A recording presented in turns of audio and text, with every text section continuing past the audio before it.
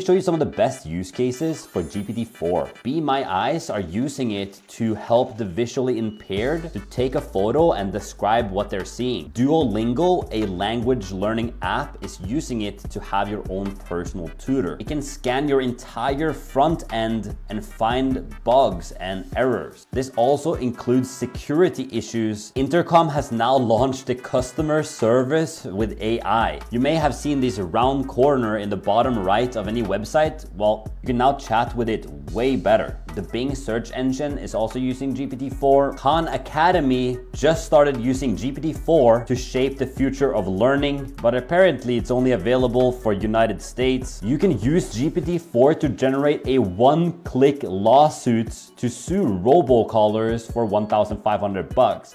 Imagine receiving a call, clicking a button, and the call is transcribed and a 1000 word lawsuit is generated.